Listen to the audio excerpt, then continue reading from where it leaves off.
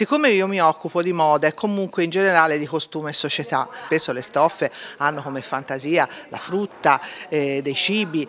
e allora mi è venuta questa idea eh, di fare queste interviste a dei personaggi della nostra moda e intanto eh, intervistarli sul loro rapporto con il cibo, farli parlare dei loro pezzi iconici ai quali poi si è ispirato lo chef Emanuele Vallini che ha, che ha formulato delle ricette che sono quelle che accompagnano le interviste nel libro.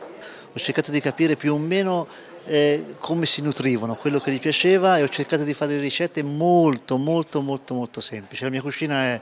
pulita, lineare, e qui si parla di pappa al pomodoro, si parla di un panino straordinario con il prosciutto toscano e dentro una mousse di, di carciofi, faccio un pan coniglio, un, un baccalà quasi livornese, insomma cose molto semplici. La moda e la cucina che si contaminano vicendevolmente per intrecciarsi con l'arte è nato così dall'atelier alla cucina, arte, moda e grandi menù, il volume di Elisabetta Arreghi presentato allo Spazio Lebole di Arezzo. Sono vissuta di arte